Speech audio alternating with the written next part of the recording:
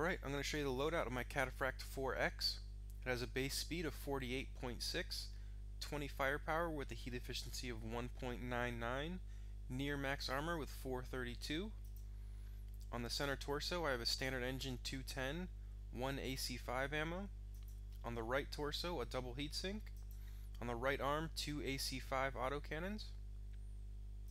On the left torso another double heatsink and on the left arm two more AC5 autocannons.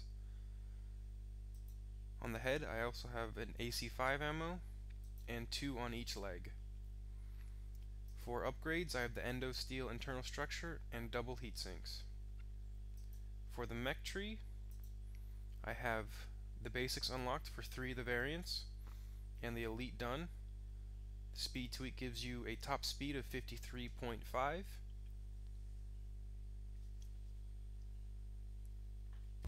description there's a link to a website that has a mech lab where you can see this loadout and create your own.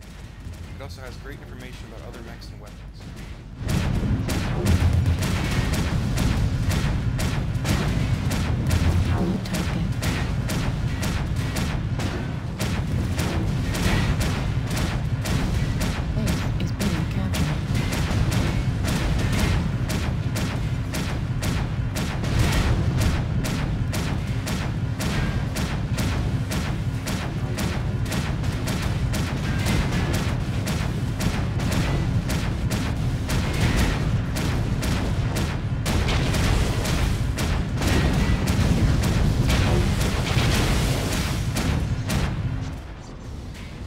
New target acquired.